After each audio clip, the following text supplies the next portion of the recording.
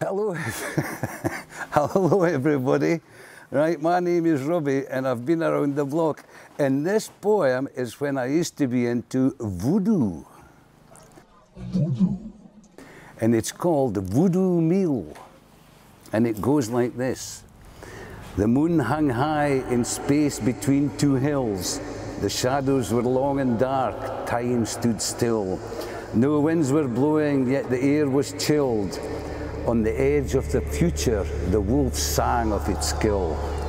On eerie rise beneath sentinel hills, the phantom coach was revealed. Behind the moon, beside the wolf, the scene was set, the blood congealed.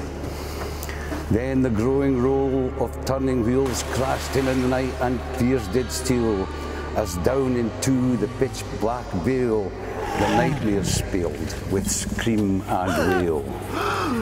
The hideous horde were frenzied and mad. They had death in their souls and they were glad.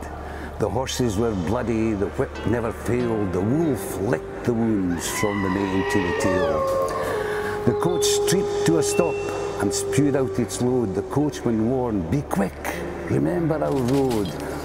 And out on the turf, those footsteps showed as ghosts and a wolf in a circle flowed.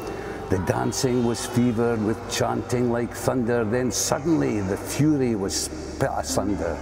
When into the circle a child wandered, and the ghost stood back as the wolf eyed its plunder. The horses were straining, the whip wavered high, the coachman looked back with baleful eyes. The demons moaned, Begone, the whip snaked to the sky, the wolf leaped, gave a howl, and the child a last cry. C'est ça.